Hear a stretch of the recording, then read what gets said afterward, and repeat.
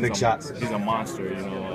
He hadn't played in two or three games, but uh, he came out today and just beasted. Was that pretty big at that point in the game for him to hit Yeah, those two jumpers? I think it, I think it speaks to our team a lot. You know, uh, we're all in it together. You know, and he didn't play two games, two or three games uh, back to back, and for him to come out there and do that today and just prove that he's he's down for the team.